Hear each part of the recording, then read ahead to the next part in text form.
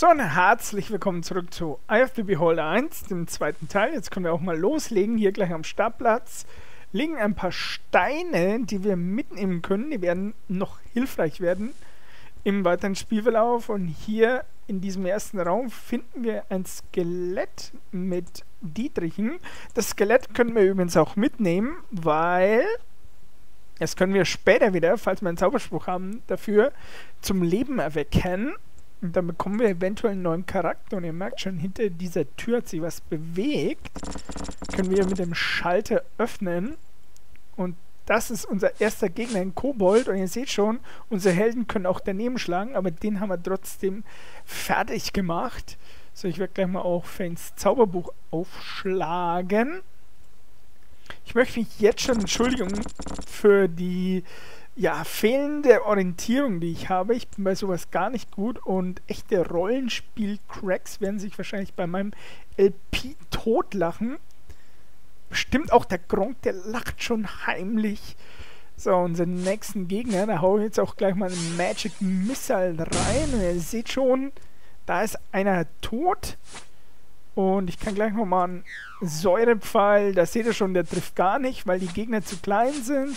Also ich war nie ein Freund von diesem ähm, Acid Säurepfeil und jetzt wurde unser John ähm, getroffen und ihr merkt, er verliert Hitpoints, aber den haben wir jetzt auch erledigt. Hier ist noch eine Food-Ration und ein Dolch. Dolch übrigens kann aus der hinteren Reihe geworfen werden. Man kann übrigens jeden Gegenstand werfen in Eye Beholder, den man auch ins Inventar nehmen kann.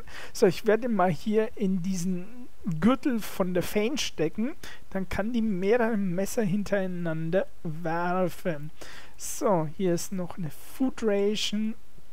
Dann gehen wir runter. Das Tolle an diesen Spielen hier ist übrigens, dass es hier keine Map- oder Automap-Funktion gibt. Also man musste früher, und das war der tolle Reiz an solchen Spielen, die Karten selber mitzeichnen, wenn man Orientierung wollte.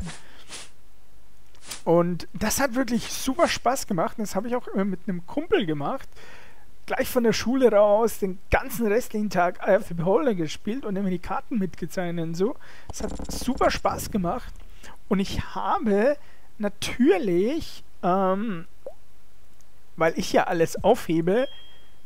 Oh, wir, haben, wir sind jetzt ein Level aufgestiegen mit Toby, weil wir jetzt zum Beispiel die Gegend erkundet haben und diese Gegenstände der Landschaft. Es gibt auch äh, Experience Points, genauso wie Schlachten von Monstern. So, und es ist ein stinkendes äh, Rohr, aber es bringt uns nichts. Egal. Ähm, ja, genau, was ich sagen wollte, ich hebe ja immer so alte Sachen auf und ich habe tatsächlich unsere alten Karten wiedergefunden und die werde ich jetzt bei diesem LP ein bisschen verwenden, damit ich nicht ganz so schlecht dastehe. So, die Türe, die ist verschlossen, die können wir auch nicht knacken. Dann gehen wir wieder hier zurück und schauen mal hier ja, das ist eine Druckplatte. Ihr seht zum Beispiel, wenn wir Druck auf diese Platte verüben, deswegen Druckplatte, geht die Tür auf. Wenn wir wollen, dass die Tür dauerhaft aufbleibt, können wir jetzt zum Beispiel einen Gegenstand wie einen Stein drauflegen. Dann bleibt die Tür auch offen, wenn wir nicht draufstehen. So, dann schaue ich mal. Hier gibt es nichts. Dann können wir mal durch die Tür gehen. Und wenn ich ab und zu mal mich nicht bewege, dann heißt das nur, dass ich auf meine Papierkarte gucke. Also nichts dabei denken. So. Jetzt, wo sind wir jetzt? Muss ich mich orientieren, mal dieses Buch weg, damit ich meinen Kompass habe. Gehe ich mal hier rüber. Kompass, ohne Kompass wäre man hier verloren. Hier ist eine Sackgasse, aber ihr seht, hier ist ein geheimer Stein in der Wand, mit der wir, mit dem wir hier eine Geheimpassage öffnen können. Und da sind mehr Kobolde gewesen, aber wir haben schon viel zu viele Messer. Die werden bei Gelegenheit eh rausfliegen. Und es riecht grauenhaft. Hier sagt einer von unserer Party.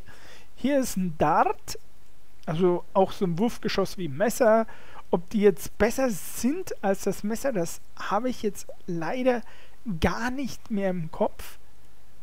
Aber ich war eh nie so ein großer Messerverwender, weil die auch nicht so viel Schaden machen. Von daher auch hier ist eine geheime Passage.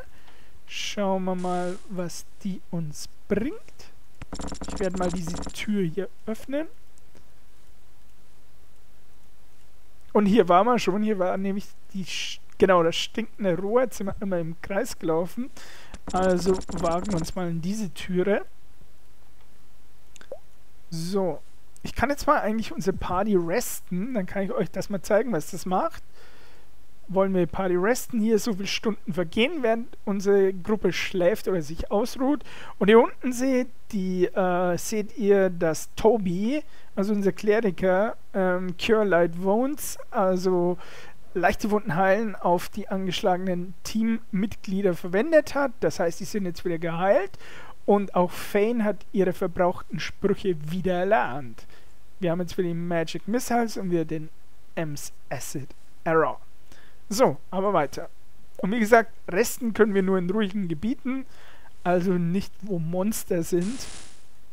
Es gibt auch Passagen, wo man Ah, ich glaube, das war aber, kommt erst in Eye of the Beholder 2, da gibt es nicht Passagen, da kann man gar nicht resten, weil unser Team dann zum Beispiel Albträume bekommt. So, hier gibt es eine weitere wichtige Sache in Eye of the Beholder, nämlich ähm, Schriftrollen. Schriftrollen mit Zaubersprüchen oder Sprüchen für den Kleriker. Die ähm, gelben hier sind für Magiere. Ihr seht da unten schon Mage Scroll of Armor Taken. Und die braunen sind für Clerics, also für Kleriker, Cleric Scroll of, Bl Scroll of Bless Taken. Da gibt es jetzt einen kleinen Unterschied zwischen Magier und Cleriker Scrolls.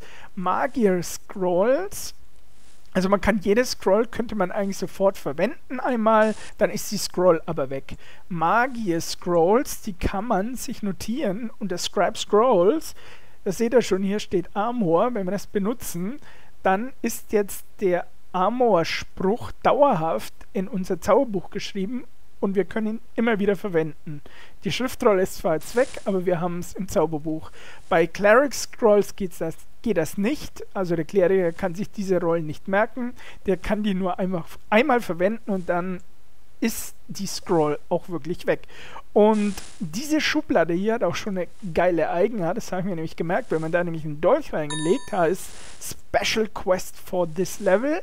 Und diese Special Quest, die gibt uns den Ginsu Dagger, ein plus 4 Dagger. Und der macht natürlich schon ein bisschen mehr Schaden als so ein normales Wurfmesser. Aber egal, wir gehen mal weiter. So, neue Gegner. Leeches. Die sind aber zum Glück gar nicht so schwer. Außer unsere Party trifft mal gar nichts. Aber die schöne Magic Missile, die hilft immer. So, da kommen gleich mehr davon. Weggehaut. In dem Raum scheint es nichts mehr weiter zu geben. Also können wir weiter Richtung Norden. So, ich gucke mal kurz auf die Karte. Mm, ich glaube, hier geht es wieder zurück, wenn wir weiter nach oben gehen. Lass mich mal gucken. Ich schaue jetzt mal erst hier rein. Wow, mehr Leeches. Gleich mal ins auf die Mütze für die. Auch die Attacken von denen sind zum Glück nicht allzu schlimm. So, sind die weg. Und da gibt es gleich ein Schild. Und dieses Schild können wir zum Beispiel unserem John geben. Dann hat der natürlich eine bessere Verteidigung. Jetzt will ich mal gucken, hier konnte man hier irgendwie die Werte angucken. Genau.